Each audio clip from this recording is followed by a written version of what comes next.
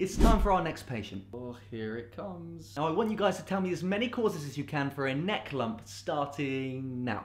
I knew he was going to ask that. Um, goiter, lymphoma. Okay, again, you're struggling because you don't have a system. I'm going to totally change that for you, but first let's test your medical knowledge. In the comments, I want you to tell me what you think this diagnosis is. There are many different causes for neck lumps, and remember that the neck is split into the anterior triangle and the posterior triangle. In both of these locations, there's lots of different tissue types which can develop into a neck mass. But here's a way that will help you to remember them when you're put on the spot. Firstly, remember Nick, which is the Australian word for neck. That's neoplastic, inflammatory, and congenital. Secondly, you need to differentiate, is this a midline mass or a lateral mass? Put those two together and we've got a pretty good matrix to recall more differentials for neck masses. Firstly, neoplastic. In the midline, we're thinking of overgrowth of the thyroid or parathyroid glands. But laterally is where most tumours of the neck sit. Think of lymphomas, carotid body tumours, for example. Next is infection and inflammation. Here we're mainly thinking lymphadenopathy and throat infections. Quite limited in midline structures and most of them exist laterally. And next is congenital causes. In the midline, you can think of cysts of the thyroglossal duct.